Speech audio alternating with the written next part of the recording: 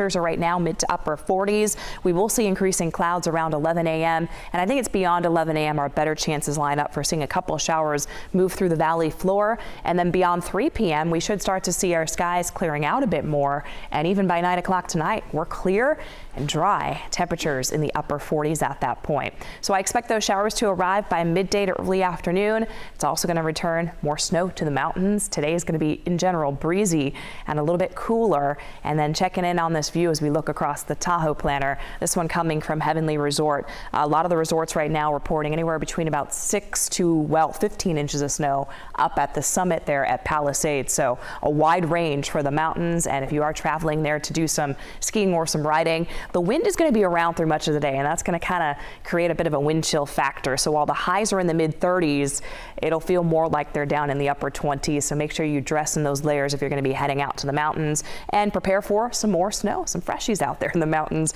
especially beyond 3 o'clock. We'll get a couple more inches at some of those higher passes. Uh, looking ahead at things, this is noontime. Showers over Sacramento, Fairfield as well, and up through Yuba City. And the snow's coming down there along parts of the northern Sierra, especially around Plumas County. And then more of that snow starts to come down between 3 and 6 p.m. So keep in mind if you're trying to plan travel to the mountains, you're probably going to need to chain up if you don't have four wheel drive sometime later today and into the evening. It's 814 right now. Brian's got you covered, planning a drive currently.